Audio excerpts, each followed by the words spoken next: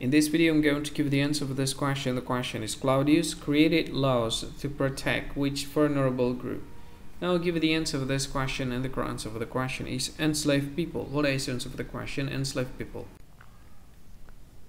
Hi, thank you so much for watching this video.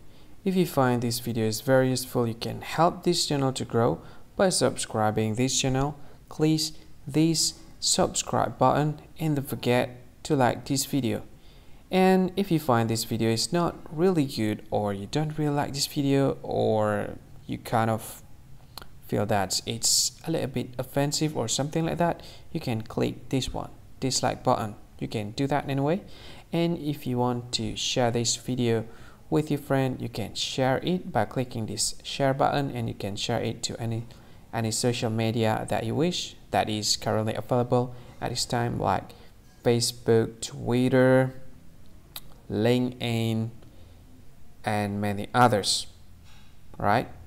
And if you want to add this video to your playlist, you can click this one. You can watch this video later and you can find more options by clicking these three dots. And yeah, don't forget to subscribe. I think that's all of it. Thank you so much for watching this video and see you again in another video. Bye bye. See you again.